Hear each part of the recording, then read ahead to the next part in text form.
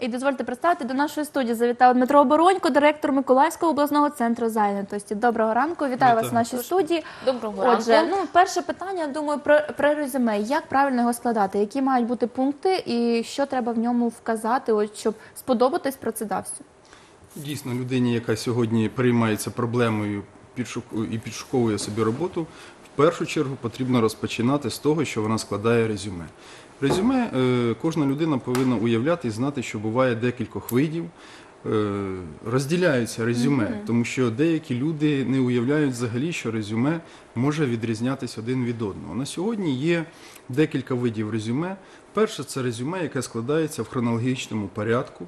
Це там, де в хронологічному порядку викладаються всі місця, де людина до того часу, коли займається підшуком роботи, вже пропрацювала. Тобто в хронології викладається і в резюме зазначаються всі місця роботи. Інше резюме це е, фун- воно так і називається, і робиться акцент на функціювання, тобто на ті е, навички і вміння, якими сьогодні людина е, може представити собі е, новому роботодавцю. Інше резюме це комбіноване, тобто там, де може людина викладати в хронологічному порядку місця роботи і свій функціонал. Окрім цього, є ще е, резюме, яке так і зветься інфографіка. Тобто це більше для творчих людей, для творчих особистостей, можуть в такому виді викладати резюме. Окрім цього, існує ще сьогодні такий новий вид резюме, як відеорезюме.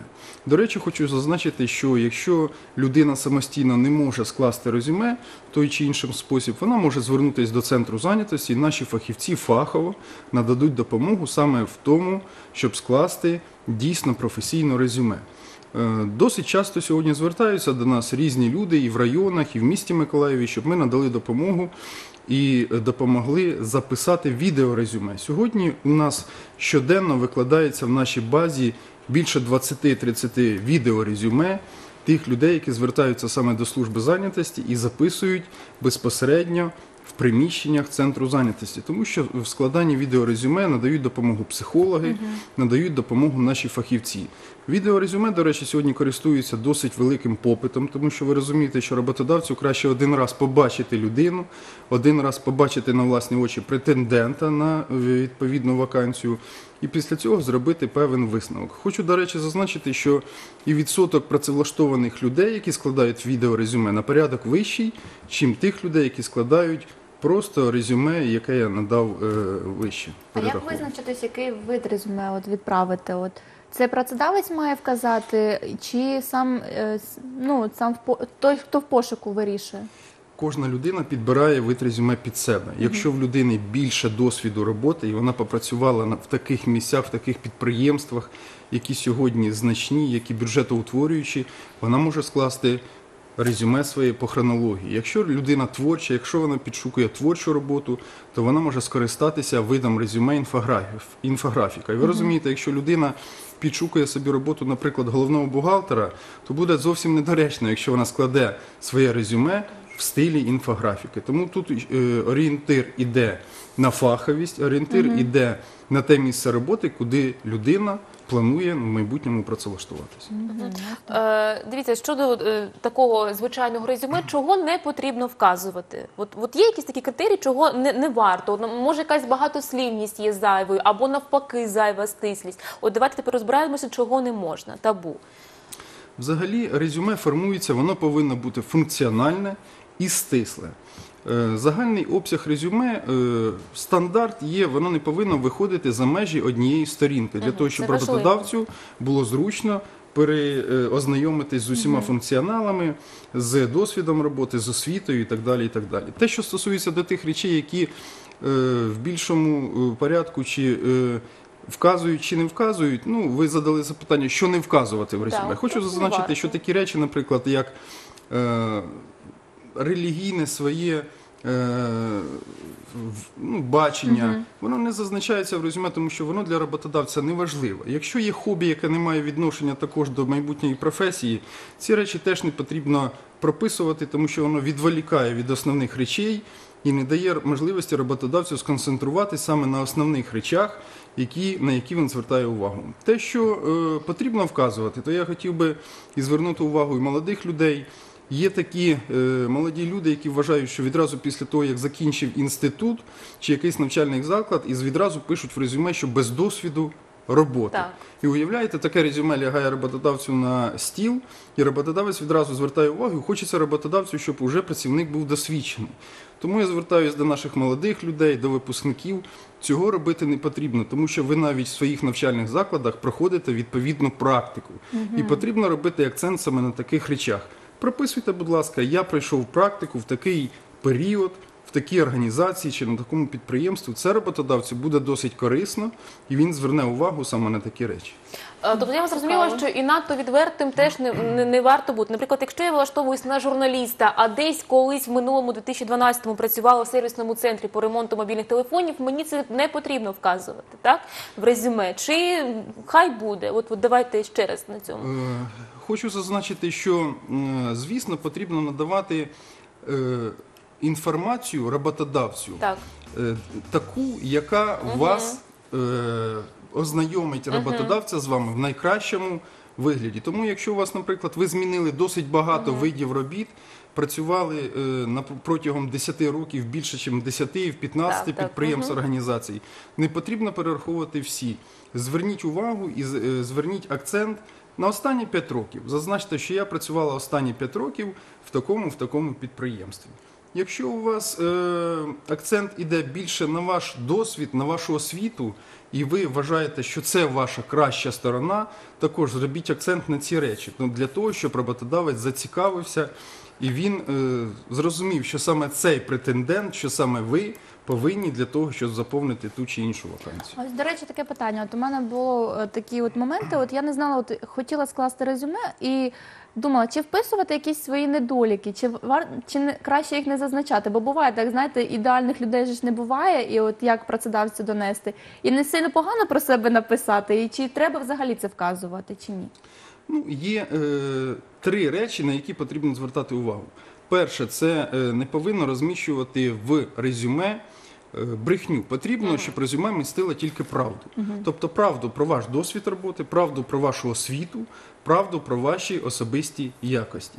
Друге, це резюме повинно бути стисле і функціональне. Воно повинно бути не більше, як я вже зазначив, на одну сторінку. І третє, потрібна тільки та інформація, яка роботодавцю цікава, тобто ваша освіта, ваш досвід роботи. І це основні речі, які потрібно зазначити. Тобто, Щодо особистих якостей, є до вас запитання цікаве, скільки потрібно вказувати особистих якостей і які найголовніше, тому що цей список можна розширювати доволі довго. Е, Ви знаєте, роботодавцю з ваших основних особистих якостей цікаво тільки те, чи ви цілеспрямована людина, чи ви зацікавлена саме в цій вакансії, чому ви прийшли саме в його організацію. Тому я б радив тим людям, які підшуковують роботу, звертати увагу не тільки на складання резюме, а на й підготовку до співбесіди, тому що це ж О, до речі, також так. досить важлива е, складова е, після того, як ви заповнили резюме.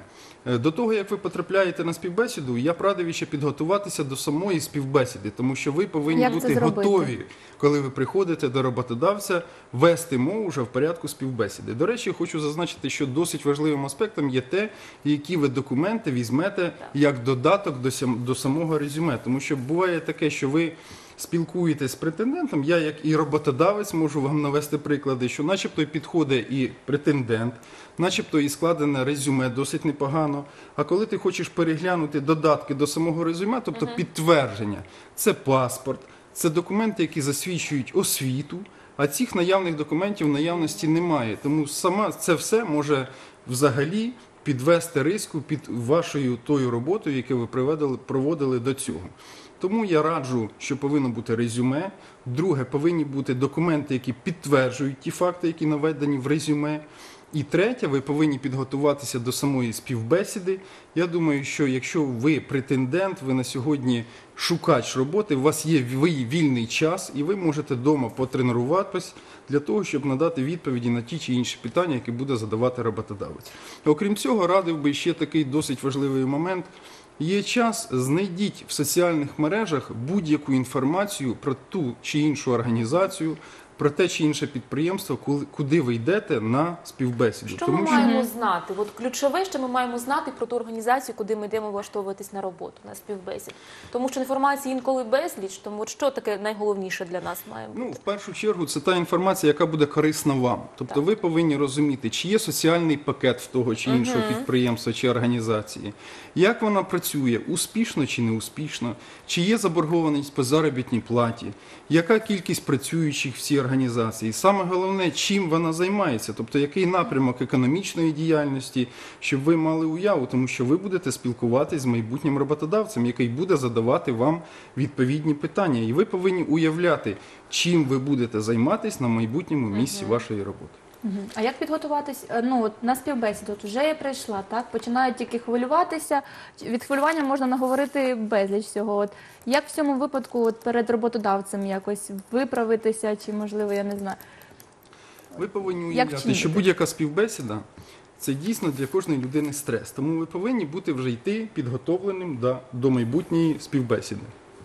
Кожна співбесіда проходить, якщо брати по часу, від 30 хвилин до години. Тобто ви можете в цьому часу поспілкуватись зі своїм майбутнім роботодавцем. Для цього ви повинні підготуватись і володіти інформацією, в першу чергу, тією інформацією, яку ви виклали в своєму резюме, тому що ви будете спілкуватись про ваші навички, про ваш досвід роботи, про вашу освіту. І ви повинні надати інформацію вашому майбутньому роботодавцю вже особисто. Тому ви повинні знати ці речі для того, щоб коротко, стисло вибрати головне і надати роботодавцю, щоб він розумів і е, володів тією інформацією, яка виклана в резюме. Ви, звісно, не повинні хвилюватись, ви повинні, звісно, повинен відповідати ваш одяг стилю тому, в якому напрямку працює та чи інша організація, чи та чи інше підприємство. Я думаю, якщо ці всі речі будуть витримані, то вас буде очікувати успіх.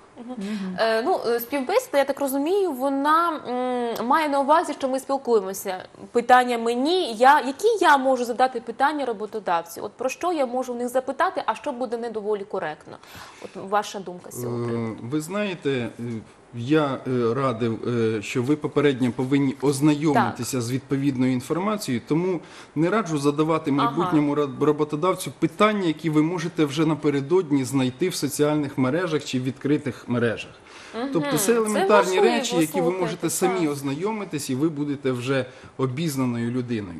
Ви можете задавати запитання роботодавцю саме, чи існує е, і є можливість росту вашого професійного саме в тій чи іншій е, організації чи підприємстві, для того, щоб ви розуміли, що ви, пропрацювавши 3, 4, 5 років саме на цій посаді, яка на сьогодні є вакантною, ви будете уявляти і будете мати можливість вирости професійно. Тобто е, кожна людина і кожен роботодавець зацікавлений. Якщо приходить претендент, він на сьогодні досить досвідчена фахова людина, він має відповідні знання, він буде ці знання, власний ресурс віддавати так цьому підприємству, то кожен роботодавець зацікавлений, щоб людина росла професійно. Тобто ці важливі речі, ви маєте право на них і запитуйте, будь ласка. Я думаю, що це піде тільки на користь. Е, Запитання наші глядачі е, сильно бояться запитань е, з приводу, е, ким ви себе бачите через 10 років, яку зарплату ви хочете, як бути, як себе вести в таких запитаннях, бути відвертими чи ні? Будь ласка. Е, Я думаю, що відвертими в будь-якому разі ви повинні бути, тому що якщо ви розпочинаєте знайомство з майбутнім роботодавцем і вже десь ви не маєте порозуміння в самому початку свого професійного шляху, то я думаю, такі речі неприємні е, під час спілкування. Тому, будь ласка, якщо є бажання, ви можете коректно запитати про е, умови роботи, про умови праці, про рівень заробітної плати. А те, що стосується питання, ким ви себе бачите через 5-10 років, то в кожної людини є відповідна ціль. Якщо ви йдете працевлаштовуватись саме на це підприємство чи цю організацію, ви уявляєте, чи ви хочете професійно вирости, чи ви себе бачите в майбутньому керівником якогось підрозділу, чи ви бачите в майбутньому себе знову ж таки працівником на цій посаді, але вже більш досвідченим і більш фаховим. Добре, а от е, щодо е, релігії, релігії, от ви казали, що не треба вказувати. А ось якщо є такий, у мене є просто приклад, що людина, ну у неї рі- релігія мусульманство, і от вона входить, е, як ми Добре, ну вона ходить от в хустці, так, і от В через це да, в хіджабі, і через це її не приймають на роботу. Чи як в таких випадках себе вести? От як з роботодавцем говорити при цьому? Тому що от через це вони бояться і може не приймають на роботу. Що в такому випадку робити? Ви знаєте, е, життя є життя, і 100% поради я сьогодні дати не можу, тому Ну, що просто- кожен роботодавець визначається окремо. Але я можу зазначити, що 99% роботодавців йому важливо ті навички і знання, які людина буде вкладати в розвиток його підприємства чи організацію. А тим, чим вона займається, яке в неї є хобі, яке, е, яка в неї є релігія, це людина може займатися і е, після робочого часу. А якщо є відповідний результат, якщо людина вкладається в повну силу в розвиток відповідної організації підприємства, то кожен роботодавець це буде тільки приймати як позитив. Ну просто от вона не вказує це в резюме, а потім через це от виникають проблеми. Можливо, все ж варто вказувати, щоб люди розуміли і, можливо, не витрачали свій час і її час. Знову ж таки, це е, бажання кожної людини. Якщо ви бажаєте, що потрібно зазначити це в резюме, будь ласка, зазначайте. Але ми ведемо мову сьогодні про деякі стандарти, так тобто ті речі, які не виходять за межі, тобто 99%. Тобто Звісно, є і винятки. Да, це вже людина повинна визначатися вже, вже безпосередньо, особисто. Підкреслюю, знову ж таки, орієн- орієнтир повинен бути на специфіку тієї чи іншої організації, того чи іншого підприємства. Тому що якщо це комерційне підприємство, знову ж таки, там потрібен результат, там потрібен прибуток. Якщо це якась організація, яка державного направлення, то там є відповідні норми, відповідні вимоги. Угу. Ми вам щиро дякуємо, що так де... намагалися детально, ретельно розставити всі крапки. Тепер зрозуміло з резюме. Я думаю, що ну я зараз бачу, що для деяких дійсно було відкриттям щодо відео резюме. Але це популярно. Якщо ви не знаєте, як це робити, можна звернутися до центру зайнятості. Вам там допоможуть і розкажуть. Ми вам дякуємо. Дмитро Оборонько, директор Миколаївського обласного центру зайнятості, був у нас в гостях.